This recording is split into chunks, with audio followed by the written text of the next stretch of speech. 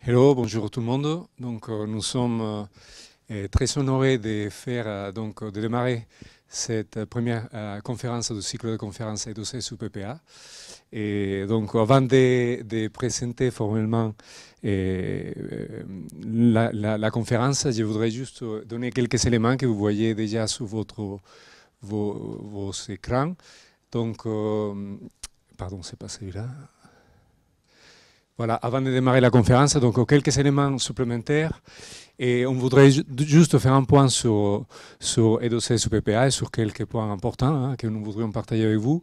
Un premier élément euh, qui nous semble très intéressant, c'est de, parler avec vous sur les résultats de la nuit euh, du défi étudiant qui a eu lieu euh, la semaine dernière, donc sur laquelle nous avons eu la possibilité de faire participer une communauté importante de nos étudiants à, à cette nuit de défi. Et donc, nous avons eu 42 étudiants qui se sont inscrits et qui ont travaillé toute la nuit du 7 pour présenter des projets et pour, euh, euh, suite à leur réflexion sur l'université du demain. Donc, euh, en gros, c'était ça le défi. Donc, venir avec des idées et travailler ensemble, faire, des groupes multidisciplinaires pour proposer des idées que nous pourrions accompagner avec EDOC sur PPA pendant euh, l'année en cours et voir qu'est-ce que ça donne l'année prochaine. Donc on a eu vraiment beaucoup de très très bonnes idées. hein. Et, là, vous avez un tableau avec les quatre projets qui ont été retenus pour euh, être accompagnés. Donc euh, un projet qui, qui a, là vous voyez aussi les noms des, porteurs, hein, des projets, les étudiants porteurs, des différents campus, c'est très intéressant, des différentes disciplines. Donc le premier projet qui consiste à, mettre en place un groupe de parole sur tous les campus, campus afin d'accompagner les étudiants. Un deuxième qui vise plutôt à, la création d'un foyer solidaire euh, sur les pareil, hein, les projets sont euh, multicampus. L'idée c'est de les développer autour de tous les campus avec un frigo solidaire. Un projet euh, bi- biotop qui, cible le développement de la biodiversité et le développement et la préservation de la biodiversité sur les différents euh, espaces verts, euh, du campus. Et finalement, la création aussi d'un espace collaboratif intelligent afin de vraiment construire une communauté qui collabore entre les différents campus à partir principalement du numérique. Donc des projets très intéressants. D'autres projets aussi euh, qui seront euh, euh, soutenus aussi, des projets étudiants qui vont être soutenus par, par l'université, parce qu'il y a eu vraiment euh, beaucoup de bonnes idées. Donc l'idée c'était de, de profiter de cette mobilisation et pour les soutenir. Donc là, euh, toute l'information va être disponible sur le site web de l'université. Donc vous pouvez aller jeter un œil donc, sur les différents, les différents projets avec des noms très accrocheurs aussi très intéressants. D'accord? Voilà, euh, voilà, voilà. Donc, euh, et un autre élément important, donc aujourd'hui nous démarrons donc notre premier cycle de, conférences. Et j'informe aussi que nous aurons euh, également une conférence à la fin du mois, le 28 novembre, à 17h. Ça va être une conférence qui va avoir lieu à Pau. Et nous avons voulu commencer sur la côte basque cette, cette fois-ci. Donc le prochain, ce sera Pau. Et il y aura aussi la possibilité de se connecter, comme aujourd'hui, par visioconférence depuis les autres campus.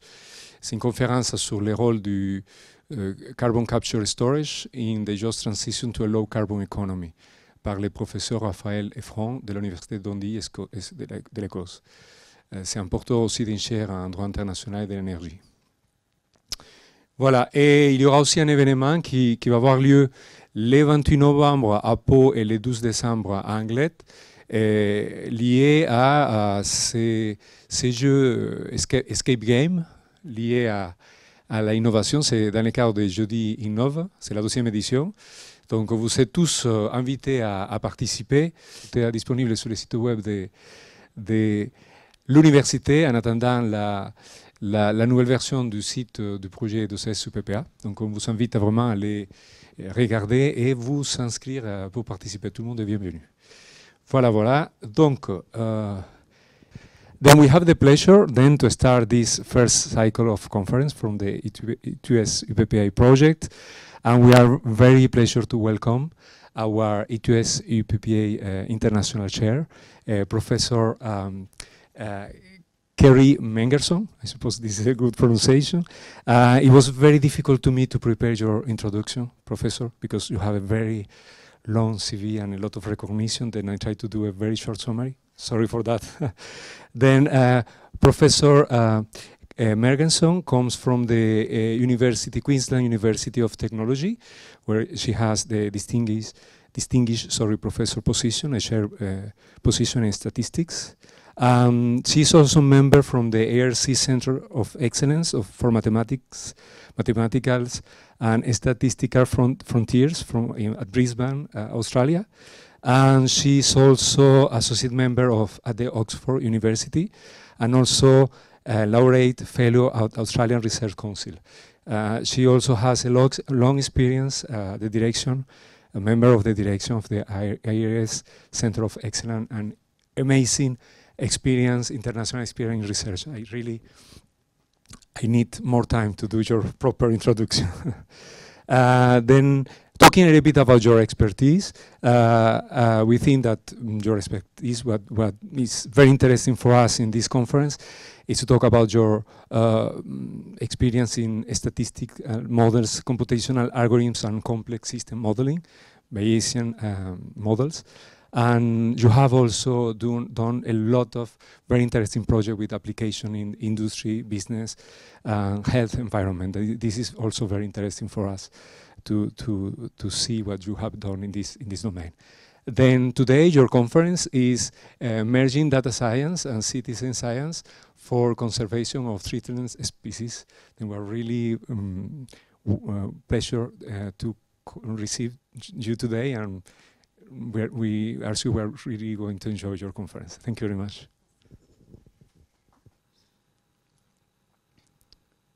So where I come from at the Queensland University of Technology, there are two research centres that I'm involved in. One is the uh, the ARC. Uh, hang on, no. Uh, one is the uh, the ARC Centre of Excellence for Mathematical and Statistical Frontiers, and this involves seven universities over seven years. So we're about five years into this. And it brings together people in mathematics, statistics, and machine learning to do uh, the methods and the theory, and also to look at computation and applications in the areas of healthy people, sustainable environments, and prosperous societies. So this is one research centre. And just this year, we've started a new centre, a centre for data science. And this is bringing together people from computer science and statistics and mathematics as uh, to create the core. And then we're, we're linking to all the different groups around the university that do work in data science. And so that's people in business, people in law, with ethics and trust and privacy, people in econometrics, people in social media research and so on. So that link is through the data science at QUT. And then we also have a link to the other centres around the country uh, that are working in data science as well. And that's through the Australian Data Science Network. So we have here um, a good environment for people working in the area of statistics and data science and linking to machine learning, to mathematics, and to computer science. We all know that the world is now full of data. We have satellite data. Yeah, we have um, social media data.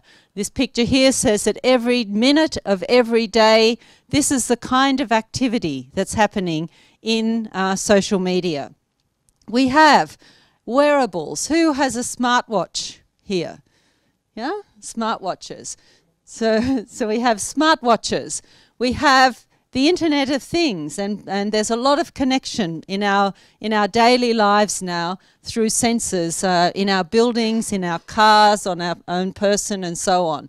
And all of this really adds up to big data. So we're in the world of big data. We have Internet 3.0, we have in Industry 4.0, Society 5.0, and the Internet of Things. And I think you could say anything like you know, you could say chair 3.0 or, you know, glasses 1.0 or something, and there would be something going on in that area. So there's a lot of activity in this area of data, data coming from many different places. And we work in the area of big data, but also we can be in the area of little data, where even if we have a lot of data, we may not know about a particular thing very well. And even we may not even have a lot of data about that particular thing. So often for in ecology, we may not have a lot of information about a particular uh, problem that we're looking at. In fact, we may have no data.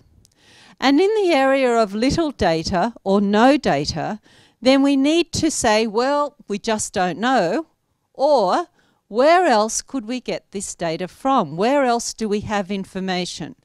Well, of course, there is a lot of information in the experts in the area. So, how can we get the expertise from people and use that as information for our scientific study? And also, there's a lot of information that people in the public can provide for a particular problem. How do we use that kind of information, that citizen science data? So often we have little or no data for threatened species. Threatened species are rare. When they're rare, we don't see them very often.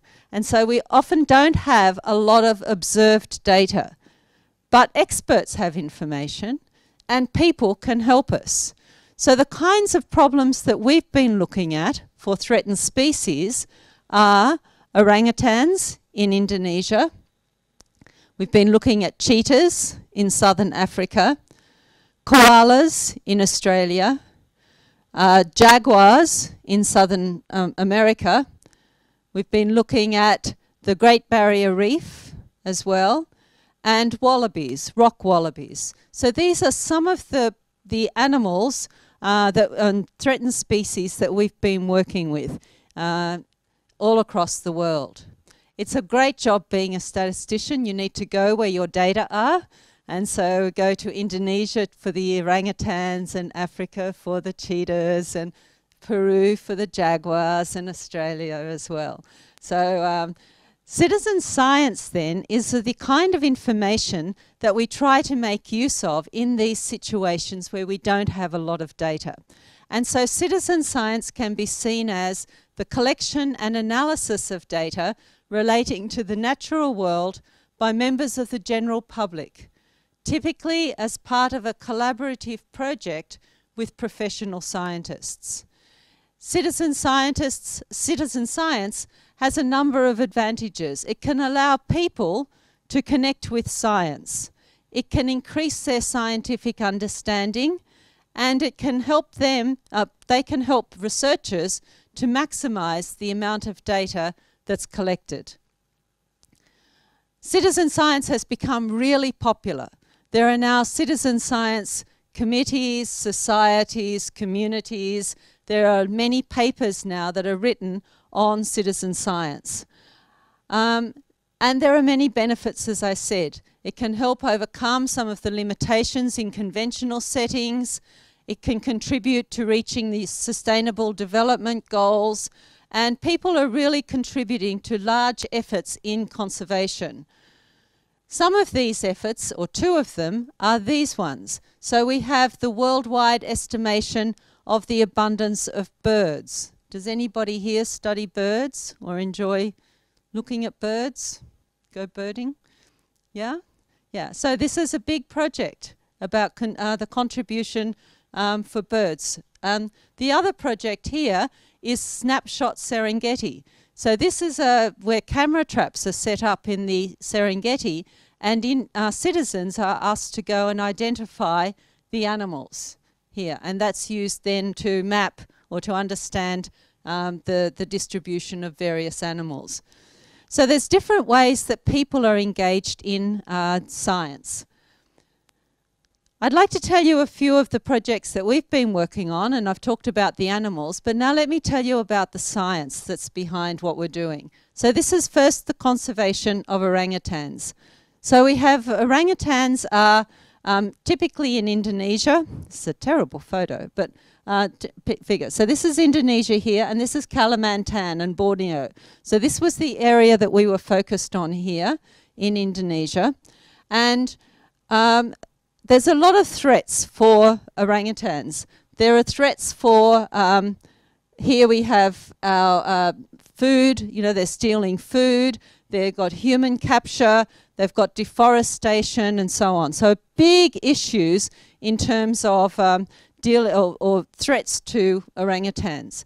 If we want to know how many orangutans are around in a particular area, if we use regular science, we have to be able to count them. Now, the forest is really dense. This is jungle. And also, orangutans live in the top of the trees. So, this is a drone photo of an orangutan's nest right up in the top of the trees. But they move around also. So, counting the orangutans through the nests is really difficult as well. So instead of just using the regular science, we might ask the people. Why don't we ask the people? So this was a study that was done in Kalimantan, Indonesia. It was a survey of 700 villages, about 10 people per village, so 7,000 people, and questions were asked about have you ever seen an orangutan? When did you see an orangutan? How many were there? Are there conflicts of orangutans in your area? Uh, what are the, uh, the features of the forest that are important to you? And so on. And we then were able to get environmental, social, and demographic variables, and we were able to develop a statistical machine learning model to be able to predict different people's responses based on their social, demographic, and environmental variables and create spatial maps of those modelled responses. Now, we did this not only for the orangutan presence and also conflict, but we also did it for uh, the value of the forest to these citizens. Now, this was important because often it's only economic value that is used for decisions about deforestation. But if we can build social values, if we can build maps of the value, the value of the jungle for health or the value of the jungle for culture, then those layers can also be considered when um, decisions are made about deforestation and so on. So these were some of the responses with respect to the um, why there was conflict. And um, this was just a small group of people uh, in this particular survey, but you can see it ranges from they're a, pest, um, there's fear or self-defense, traditional medicine, and so on. The um, reasons for the particular uh, for possible decline in um, orangutans you can see here: mining, hunting, fire, oil palm, which is a big problem, and logging. And what we wanted to do then was to be able to create a model to be able to predict those responses in areas that we hadn't actually surveyed. So we used a classification tree. And these are just very simple uh, um, like splits or, or, decision trees. So if we have some X's here and we want to um, predict a response, let's just say it's a one or a two, whichever the categories are, then we take the, um, we look at just developing a tree so we can split the data on the x variables. So if x is greater than 80.5, x1 is greater than 80.5, we'll go this way and you'll get a 1. If it's less than it, you'll go this way. If it's x2 then is greater than 2.1, you go this way. Otherwise, you go this way. So a very simple sort of decision tree that ends up giving you a class. So if x1 is greater than 80.5, you're going to predict it to be a 1, and so on. So we can build these kinds of models um, in more complex ways, and we can see the kinds of variables that are important for being able to predict whether there's going to be conflict and what kind of conflict there'll be. Now, obviously, it depends on the environmental variables, the social variables, and the uh, um, other variables uh, in, the, the, in the survey. There's different extensions to those kinds of models, so we can build much more complex uh, prediction models, but that's the general idea. It's very simple models, and then we, um, we can complicate them here. And when we do so, we get something like this. This is a classification and regression tree for killing orangutans. So you can see here it depends on the village population as the biggest um, issue here. So if the village, so the village population is greater than 65% Muslim, um, then there will be a different kind of response compared to if it's um, less than 65% Muslim. And that's really because of the religious belief about eating orangutans. Okay, so it's a fair call. But then you can see that it relates to how much forest is in the area. We can see about schools. We can see about other land cover and so on. And if we follow the particular decision tree through, we can see the different kinds of reasons that people are giving for um, killing orangutans or, or, conflict with orangutans. So then we can map this, and we can map this across the whole of the area to tell us about where are the important regions for conflict or where might we predict conflict to be. And then that can help us with management. So this is a particular way of using the citizen science through a survey type of data. The second kind of example is through conservation of cheetahs. So a different kind of model now and a different kind of um, data source we got from our citizens. So here's a cheetah in southern um, Africa. Uh, we went to South Africa, Botswana, and Namibia. Cheetahs are extinct in 20 odd countries. The population was about 100,000 in 1900 to less than 8,000 today in the world. And there are many different factors that are involved in uh, whether cheetahs are going to succeed in the wild or uh, their, their, um, their, their human conflict as well. So the way that we decided to model this was through a Bayesian network. Now these kinds of models are saying what's the overall response and what are the factors that are related to that response? And then what are the factors that are related to those factors?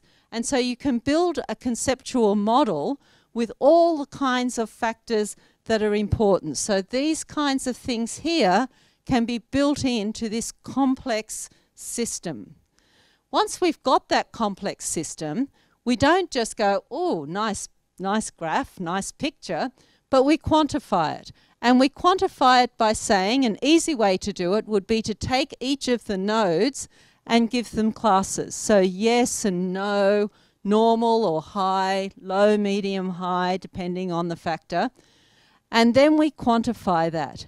So we say, what's the probability of G being normal if its parents are yes and low, or yes and medium, or yes and high, and so on. So we get those probabilities. Now, those probabilities can come from literature, or from previous studies, or from citizens, or from experts. And so what we did then was we got um, a I had a four-day workshop in Botswana. We had 12 experts in cheetah conservation and we took a structured approach to building one of these Bayesian networks. So we identified the target nodes, we listed the relevant factors that might influence those nodes, we agreed on the final set of factors and the relationships, and then we determined the states of the, the different factors, yes, no, high, low, and then we quantified it. And by doing that then, what we end up with is a Bayesian network for human cheetah conflict. So here we have the long-term conflict decrease and a short-term conflict decrease we can see that these are affected by policy, farmer perceptions, economic benefits, conservation awareness. And you can see that they're affected by a number of factors themselves. Now, each one of these can also be a network as well. So we can make a very complex system, but show it in a more simple way. So some of the subnetworks, for example, are for farmer education. You know, you can have site visits or workshops mobile workshops or public education. And public education breaks out into another network and so on. And then we quantify these. We see the same thing here economic benefits, diversify, sustainable management, livestock production, and so on.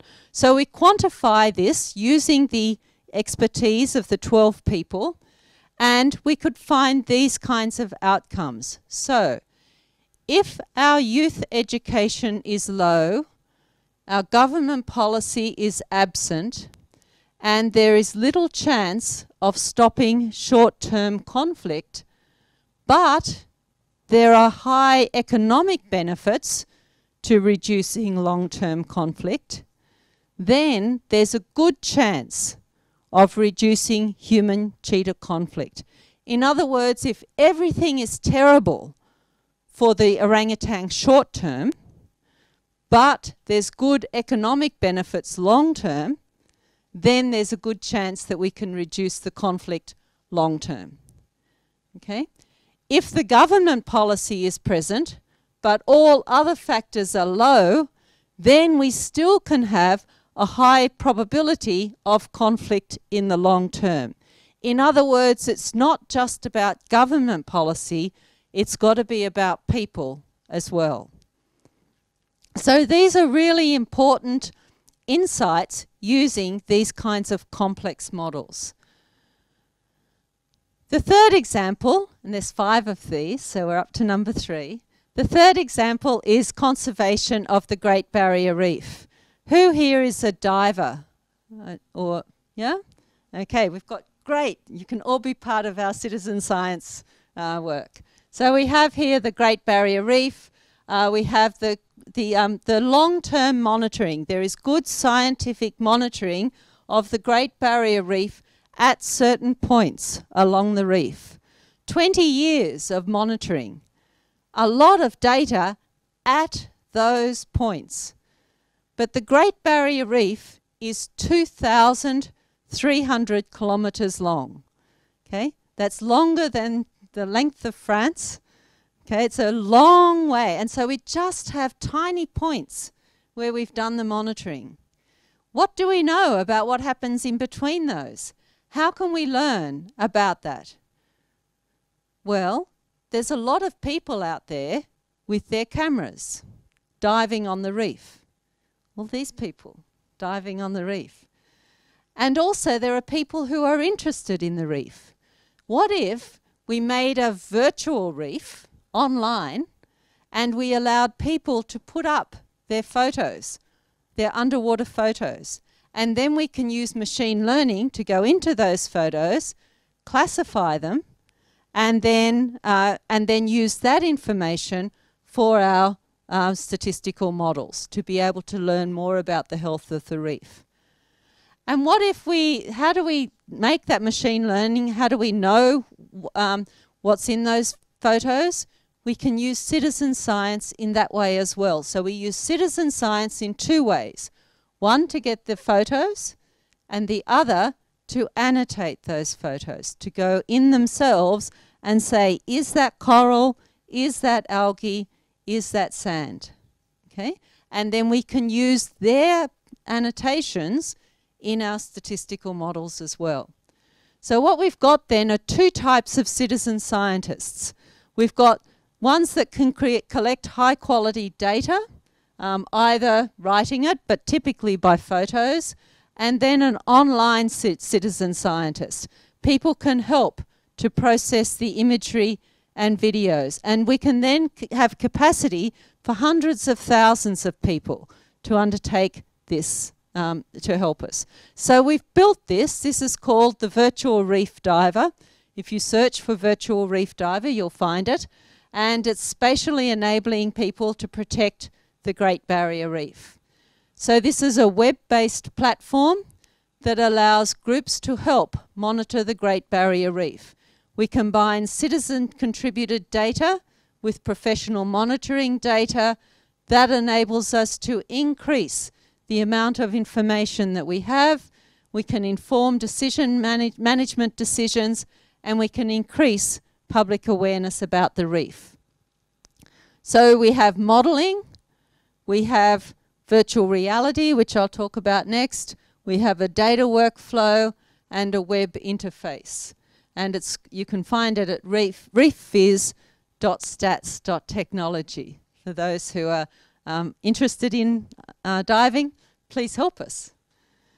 So what you get then is you go into a particular area, you can bring up an image, it has a QR code here, and you can then go into the image either just in 2D or in 3D, and then you see these little dots. And so you tell me, is this coral, um, algae, or sand? And then you annotate those, and then that goes into our model.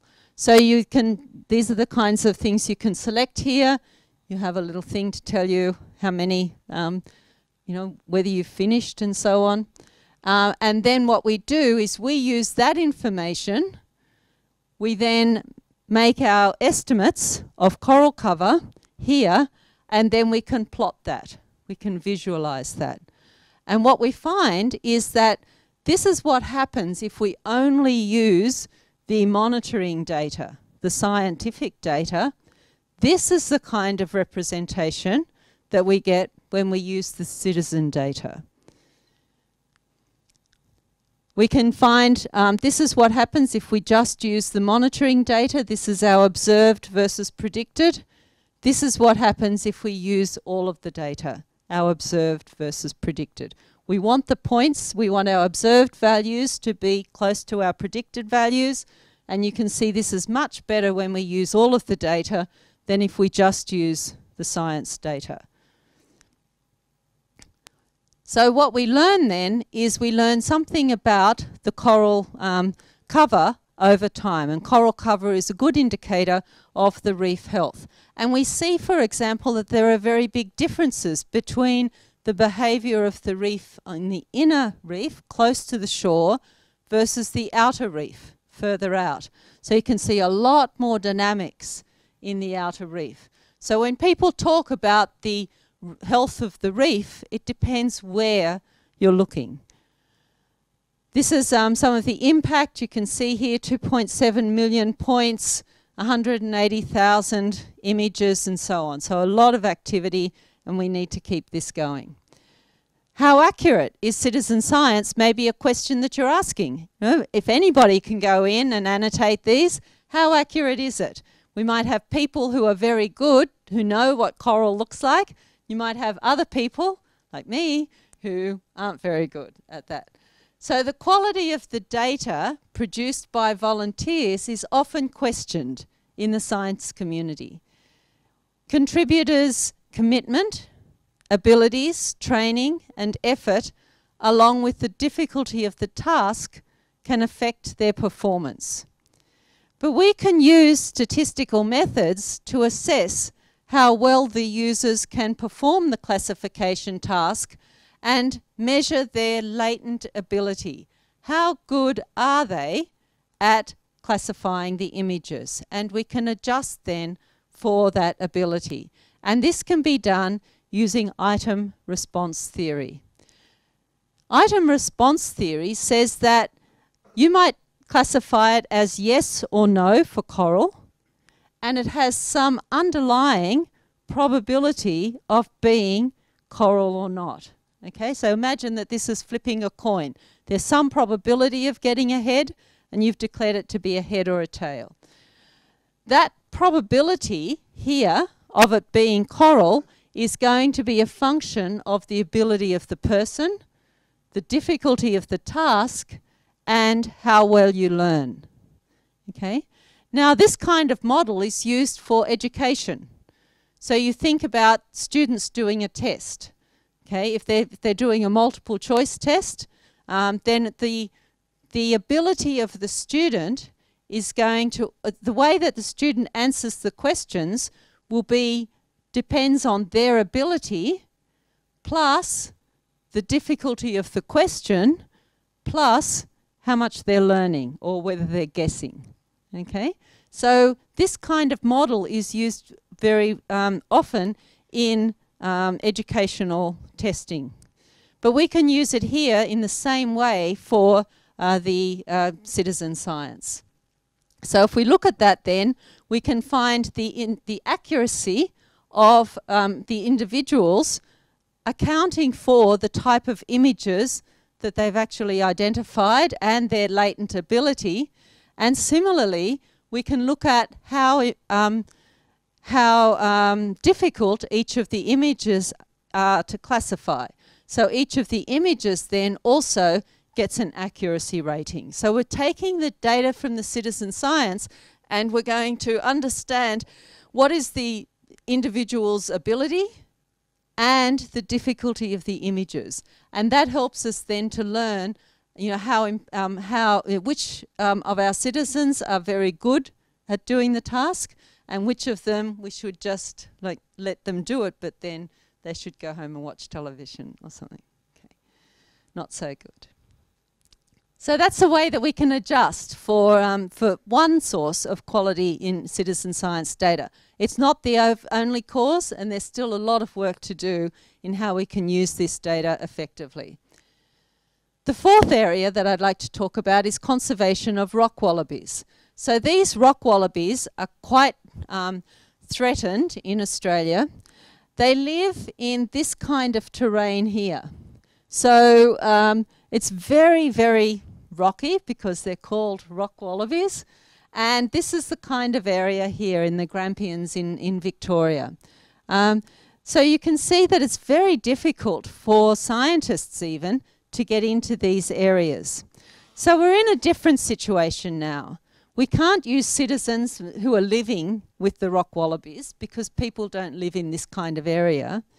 We can't use our divers because there aren't going to be there's no diving here, but also not so many people go into these areas. So the question is, how do we use citizen science in these very remote areas? Well, we can use virtual environments. Just as we built a virtual reef, we're going to build virtual environments for the rock wallabies. So this is an example of one of our first virtual environments we found it's very hard to make rocks look like rocks for our rock wallabies, but we used this as a training exercise. We then made our, our virtual reality. So you can, um, who here has used virtual reality? Nobody with the virtual reality glasses? Yeah? Okay. All right, so if you go in with your virtual reality glasses, you are in the world. Okay, so you can be transported to the Grampians. And in fact, we did an experiment where we put the, the glasses on, on people, can put them um, uh, on here, and we made the helicopter noise as if the person was going up into the rocks, and then we flew them over the, the mountains, and they could see the mount, they could see it, and they could go, I need to go in there, want to go into that area, and when they got closer, it could zoom in to our virtual world. And then they could say, um, we would ask them, how likely is it that a rock wallaby would live there? And how sure are you about that? So if I get that kind of response from you for a particular site, okay, then I know the characteristics of that site. And then you go to another site and give me an answer as well. And you go into the virtual world and go to a site and give me an answer. How likely is the rock wallaby to live there? And how sure are you? And I know the characteristics of that site. Okay, um, the the uh, the uh, vegetation, the type of rock, the aspect, and so on. And similarly for other people. So if I gather that information, what I've got is a whole lot of responses what's the probability of the rock wallaby to live there, and a whole lot of variables at those different sites. That's a data set. So I can build a statistical model based on the virtual reality responses. And by doing that then, we can get a suitability map um, for the area. And we can also find that site assessments using expert opinion contrast considerably with the habitat model. So we ask, well, is that a good contrast? or a bad contrast? Is the citizen science actually helping here? Well, one of the questions we could ask is how well did we get that information out of the expert? Okay? We put them into this virtual world, we fly them over the, the, um, the uh, mountains, and then we ask them how likely is it that a, a um, animal lives there. We need to do a very formal way of eliciting that information. So we need to train our experts beforehand. We need to elicit the information, to get the information from the experts um, using a specific approach. So we ask them about the, the largest value and the smallest value, and then we ask them finally about the most plausible value. We record that, and then we can encode it in a distribution. So for example, this might be your probability of the animal being there, okay? This one here might be somebody else's. So here are two probabilities given by two experts, and then we can combine those. And the way that we get the information then is either on the relationships or, as I said, on the responses. So it's just some information.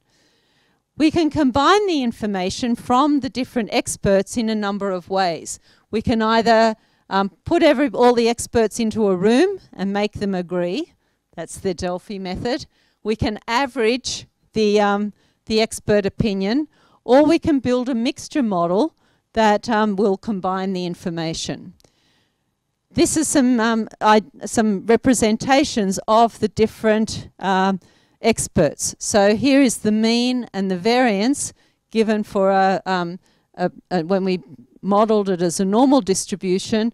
And you can see here this is the, uh, for each expert, their mean and their variance here in terms of the uncertainty around those particular estimates. So we're combining this information. When we combine this then, what we end up with is a good estimate of the, um, the probability of the animal being in that particular place. So that was our trial run. We tried to make these virtual environments. But it's difficult. It's difficult to make rocks look like rocks because experts want rocks to look like real rocks, okay? And so who knew that you had to go to so much trouble to make a rock? So we said, well, that's fine. But what if we actually took, instead of making virtual, like digital environments, we take the real environment. So the last example I want to talk about is conservation of jaguars. And this is in southern um, America, in Peru. So the idea here was the, the, the conservation fund that we were working with wanted to make a corridor, a safe passage for the jaguars through the Amazon in Peru. We got together a research team uh, you can see the list of people here that came from media, maths, statistics, machine learning, and visualization.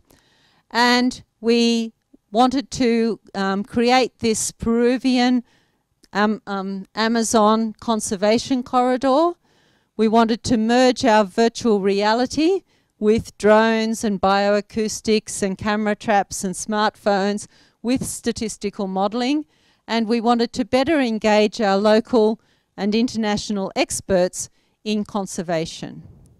Now, I do statistics, right? Um, and next thing, I'm finding myself in the Amazon with my virtual reality cameras or my 360 cameras, learning to fly a drone, sticking cameras, uh, camera traps out, and putting um, videos, um, GoPros on a plane, and so on. So it was a an interesting experience um, to do this kind of work. We went to two locations. We went to uh, which is a reserve, and Pacaya Samiria in the northern part of Peru. And I'll just show you some holiday snaps. So this is um, Imiria. You can see around a lake here, and the Shipibo people who were our hosts and our informants. And Pacaya Samiria is a big um, river with prime jungle on either side. Here we are fishing for piranha here. Um, so fishing for piranha is great. You just have to dangle a bit of meat in the water and you get a fish, so it's really easy. And then you pass it to the local person who then takes the fish off the line because They've got big teeth. Um, and then somebody cooks them, so they're very nice. This is how much data we had. Okay, there's not much known about jaguars in the deep Amazon here, but we have local people who know about it, citizens, and we also have our experts. So we asked our local people to tell us your stories. We tried to do the formal elicitation that I showed you. They weren't interested. So we said instead, tell us your stories. Where did you see jaguars, just like we did with the orangutans, and tell us on a map where it was. I saw a jaguar fighting with a giant anteater, and the anteater was on its back with the legs in the air. The great stories. Put a star on the map where you saw it. Easy for us to say, if you've never seen a map, it's more difficult. Okay? So we wanted then to talk to the experts, but we can't take the experts to the jungle, but we can take the jungle to the experts through virtual reality. So we took our 360 photos in the jungle, we made virtual reality photos and then uh, or environments and then we asked elicited the information as I showed you before. What's the probability of a jaguar living at this location um, and how sure are you about it? So here we are with our 360 cameras. Um, the, we made a, um, a 3D, uh, we 3D printed a cover for our camera here. Um, this is our guide here um, who was more interested in looking at the virtual world instead of guiding us. Here with our very, well, we took very different sort of 360 cameras. I was allowed to use this one because it was just like a little remote control. Others used the more, um, the more detailed ones and we built these virtual environments. So if you search for a project, or I'm happy to give you the site online, you can see the um, the, the virtual reality worlds um, that we we took.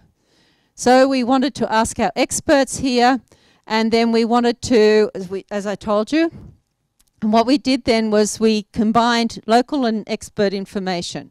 We created an input variable or layer in the model and combined it with other input variables. We also looked at Bayesian approaches and we can also calibrate those models using a data-based approach.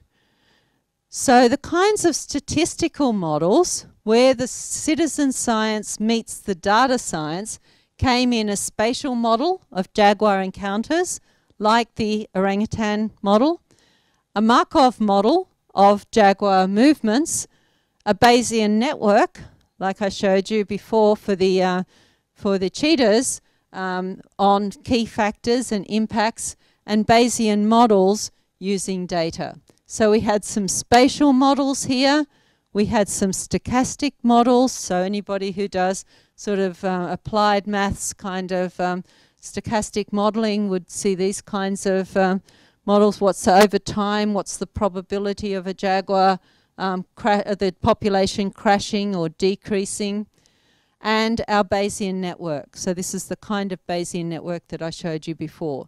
So what's the viability of jaguars in the wild was impacted on by human impact, prey insecurity, and habitat loss, which had all of the other factors as well. So why was this important for us? Well, for the Conservation Foundation, this was a new way to estimate jaguar abundance and to, to put that into their efforts to build a jaguar corridor. For us, it was new ways to combine new technology and maths and stats. And we believe it was really important to start doing this work because it can feed into global climate change reports and sustainable development goals. So this is um, the team, some of the team who went to Imiria.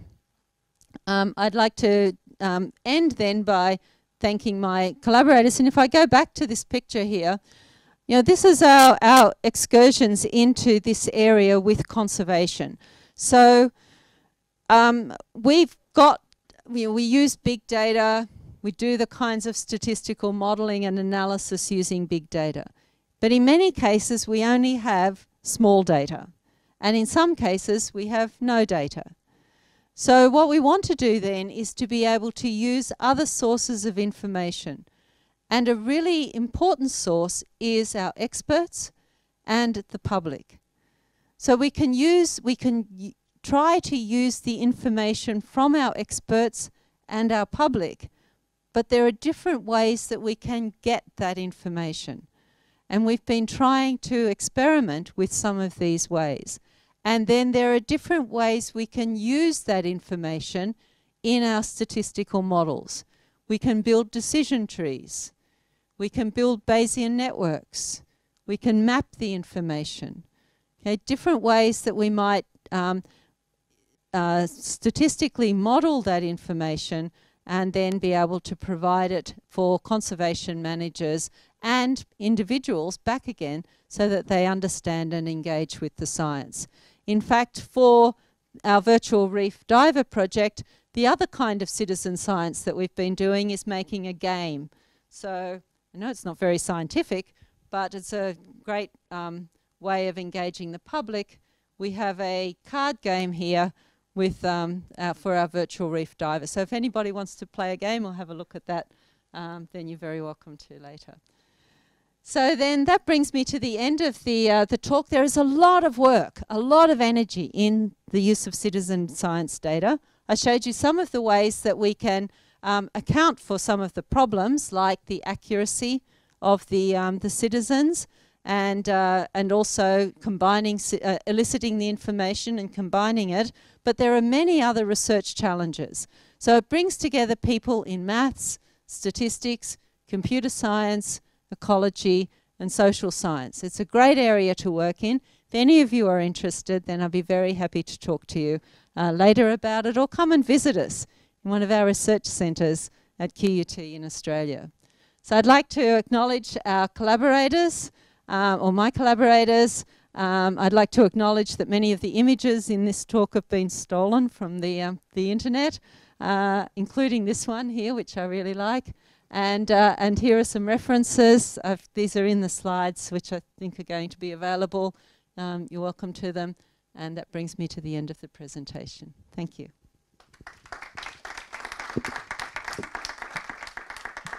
Uh, we're going to start from here. Yes, well.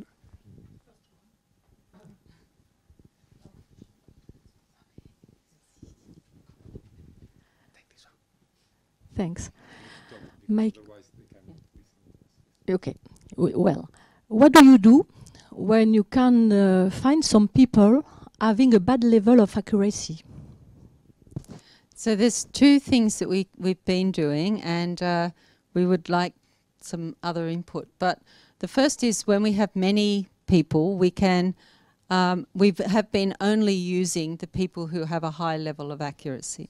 You have to uh, make a choice. Yeah, so you have to make a choice. But the other thing we can do too is train people. So people who, uh, for example, in the diving community, there's often the boat that goes out.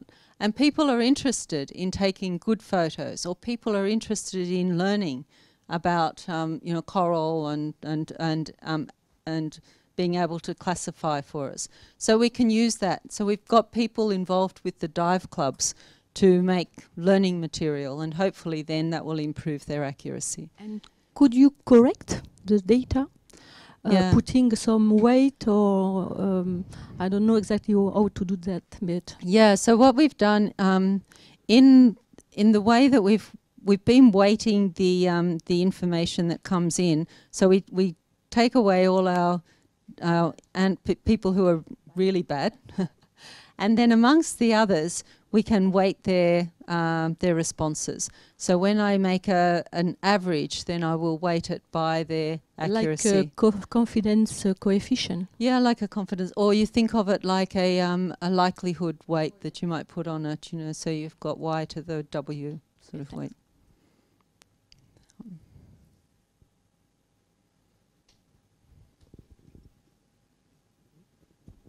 Another question? Yes.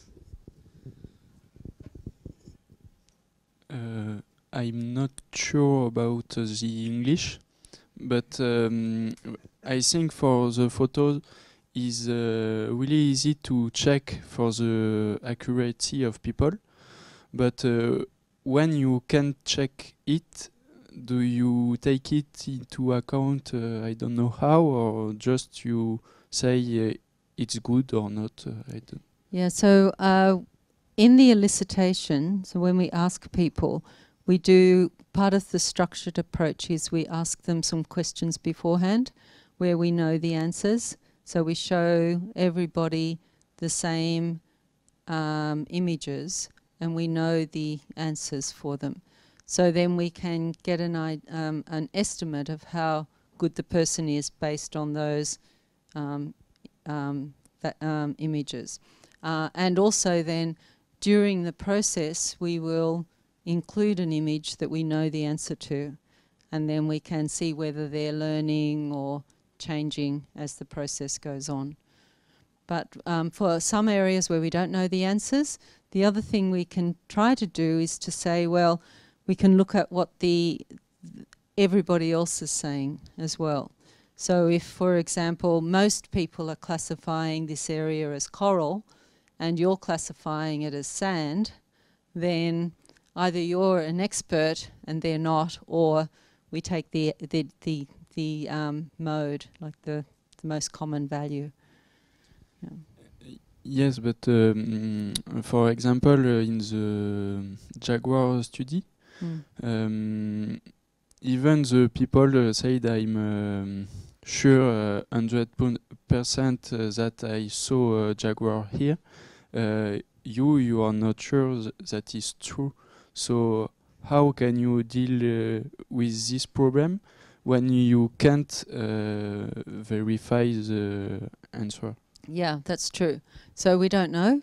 Um, uh, it was interesting in the Jaguar study because we had everybody, um, like all of the village there. So uh, if we're asking about from, there's two groups. There's the experts and the local people.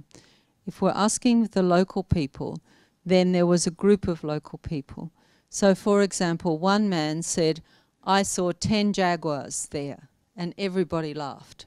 So they were saying, no, no, no. And somebody would say, I saw a jaguar here, but then they would go, they'd do a lot of talking in Shipibo. And so, and so then it would come back through Spanish and then to English and would say, well, it was actually not here, it was over here. And so they would sort of correct each other.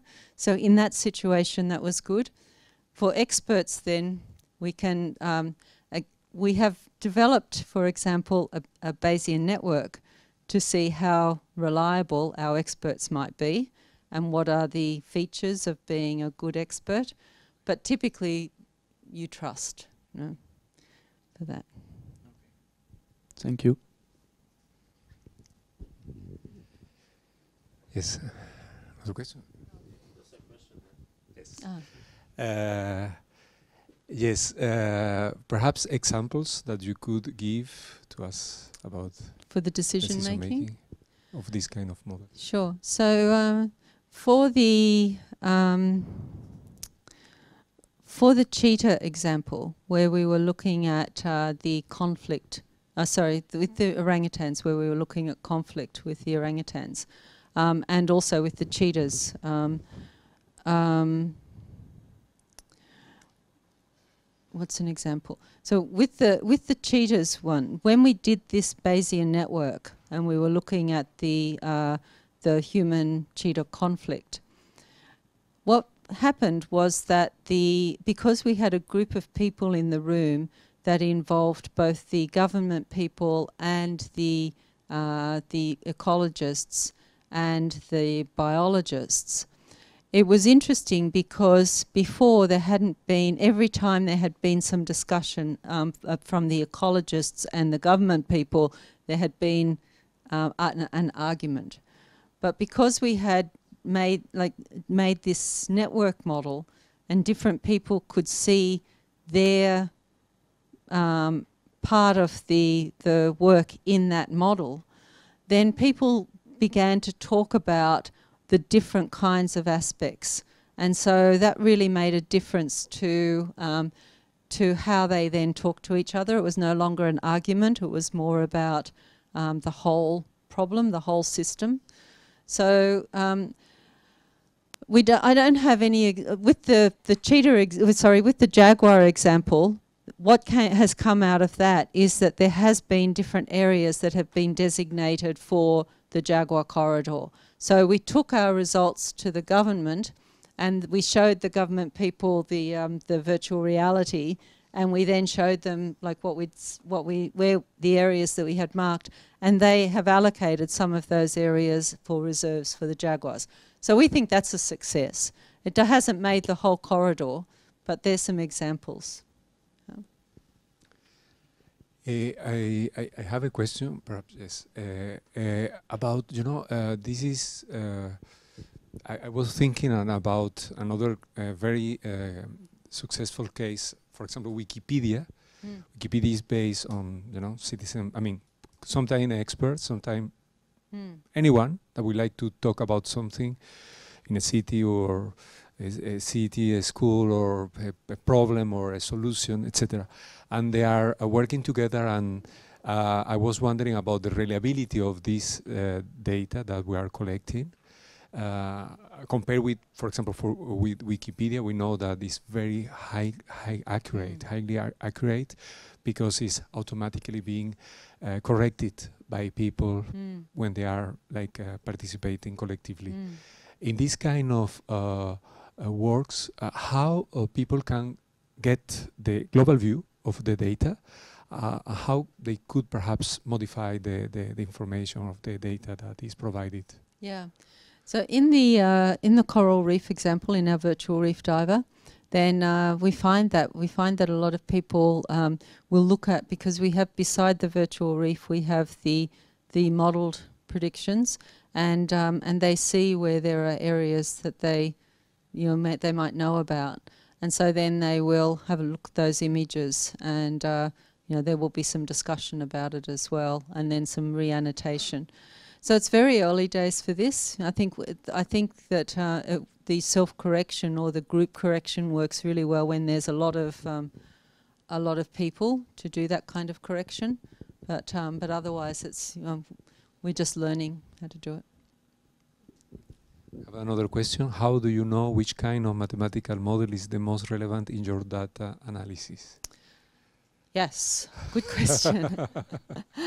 uh, I think if um, we try to start with the the more simple models. So we might start with a uh, you know a prediction model, but often even if you take a, a, regression, for example, then you still need to add in the uncertainty of the responses, um, and so so the regression model becomes more complex even at that point.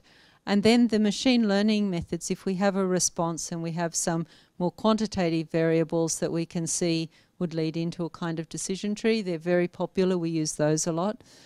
If it's more complex um, uh, system, and also we have data from different sources, so then the Bayesian network uh, is more um, applicable because uh, we can have many nodes connected to other nodes and we different factors will influence other factors and the information can be used from different sources for parts of the problem. So if we only have um, some information that tells us about human factors and some other information that tells us about ecological factors, then we can't build one of the sort of usual machine learning models because we don't have all of the information on all of the um, the responses or all of the we don't have a full set of information. So the Bayesian network models become useful then. So we have, you know, we have a few models that we've been trialing, uh, and they sort of fit with these different situations. So. Yes, uh, um, I, I, I was thinking about about also uh, semantic models. I don't know if you yes you mm -hmm. because uh, in computer science we are usually using, for example, ontologies. Mm yeah. Uh, in order to ex uh, semantically express in a formal way the expert expert knowledge. Yeah. And then we are mapping from text mining, you know, to go to the expert yeah. expert. how we could use this. I mean, perhaps you are using that that kind of models in your work. No, but it's really interesting. We're not at the moment, but um, but I think that it's a really interesting uh, approach. So in our new Centre for Data Science, we have people who do a lot of um, text mining and semantic analysis, and we're really looking forward to connecting with them. So we don't do so much. We at the moment this is based on we we quantify that kind of information and we put it into our models but otherwise we're not using it very well. So it's a rich area for research. Yeah. Another question. Social network. What social network platform, Facebook, Twitter, Instagram, WhatsApp, Snapchat, would you use to obtain data out from citizens? Yeah, so uh, we haven't used the. Oh, that's your question. Ah, thank you. Um, we haven't used the social network platforms yet for this, but I know that there's a lot of work, for example, on analysing Twitter um, data. So it's our so we have a social media research centre, and they have a large um, Twitter account um, that they do. They do the analysis of Twitter data. Um, so the the this you know there's a lot of work in looking at um, these social network sites and trying to extract the kind of information, um, overall summaries, different kinds of uh, you know topics that are being discussed and so on, and the networks between the different people, of course. So that kind of information um, is being extracted. We haven't used that yet for um, in our sorts of modelling, but um, it's an interesting area. So yeah, are you using it? You are. Do you want to? Do you want to explain? Do you want to tell me? Well, um, well, I'm using Facebook, for example, uh, linked to WhatsApp, to track the um, oops, to track the invasion of uh, blue crab. It's a Callinectes sapidus. It's a alien species which uh, arrived to the Western Mediterranean in like mm, 2014, something like that, and it's taken over all the coast. It's nearly in Montpellier now, and then it's uh, it's reaching Faro in uh, Portugal. So I'm uh, I'm using a Facebook profile in which I'm posting photos and um, documents about this uh, this crab, and also I'm using a um, Google form to ask uh, people about uh, age, uh, gender, uh, from how long they have been fishing, uh, like like fishing expertise. So if there's somebody which is fishing from like uh, one year ago, it's like okay, it's like an index to to tune the the weight of the response. And uh, yeah, if they have seen the blue crab, in which habitats, uh, and all this, I'm asking them also to upload a upload a photo of the blue crab with the, an euro on the on the carapace, so we can estimate the size as well, or I can estimate the size of the of the crab. So we see if there are little ones, so that means that there are population established already in there or not. So yeah.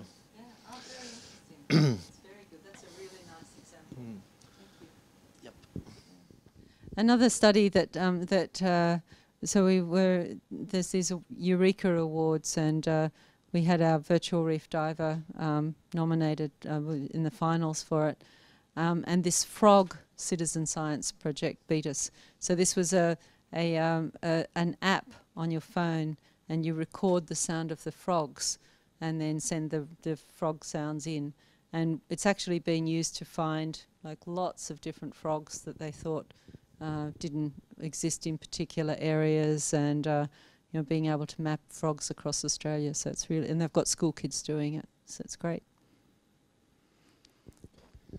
That's great.